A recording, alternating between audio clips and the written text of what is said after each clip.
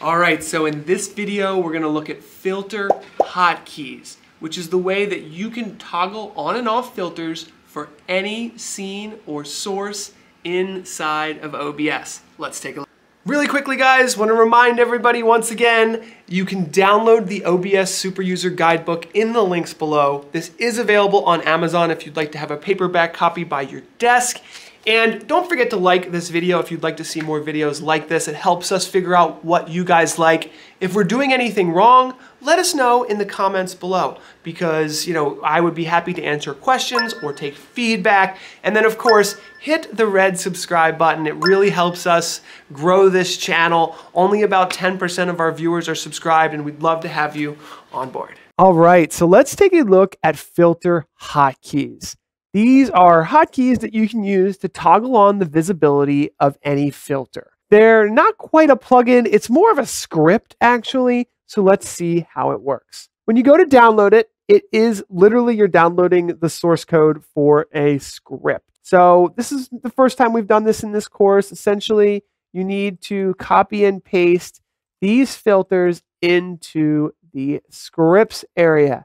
And there's a little README file that will explain how it works, but I'm going to show you right now. So you can copy those scripts and you go up into tools inside of OBS and you go to scripts and you hit the plus button. And what I did honestly is I just copy and pasted them right into here. I just right clicked and hit paste. I've already done that. You can see there's an audio filter and a video filter.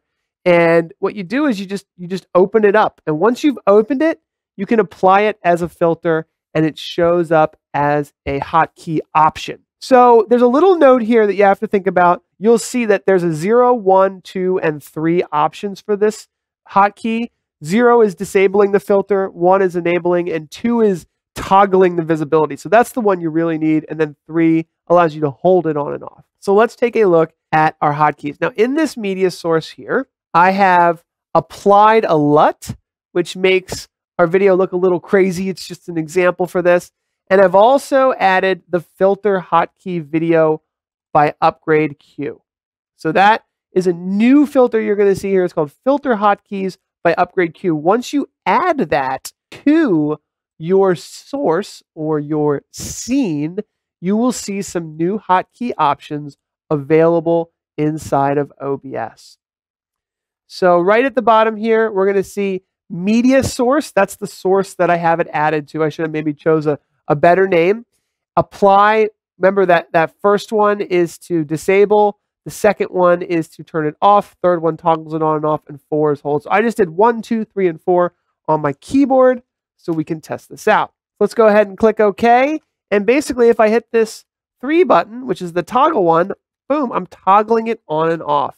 It's that simple, but it's actually super powerful because so many great filters can do amazing things like enable replay or start and stop a recording on your ISO recording. So as we start learning about more and more plugins that add unique filters, being able to toggle off and on the status or the visibility of that plugin is really important. So we're, this is going to come back more and more as we discuss more advanced plugins in our book. So we've talked about so many great filters and then plugins that add filters into OBS.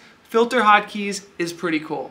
It's a little funny to use, so obviously we had to work through that, but once you get the hang of it and you get it set up in your Elgato Stream Deck or on your keyboard, you set up those hotkeys, it works perfectly. So in our next video, we're gonna be kicking on control, looking at PTZ camera controls next. See you soon.